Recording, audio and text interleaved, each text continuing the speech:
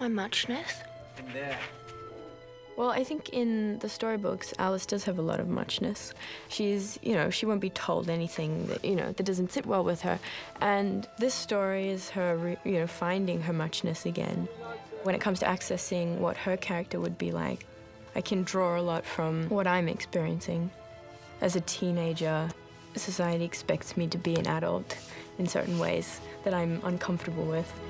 She's on that the cusp of being between a child and a woman. And one minute she looks so much like a child, and then the next she's was definitely a woman. So that was so important to Tim to find someone who was on that cusp. She captured the spirit of what we try to do with Alice, you know, as a character, sort of internal, quiet strength, emotionally tough, but beautiful. For me, she really captured the voice of what Alice is and what that character is.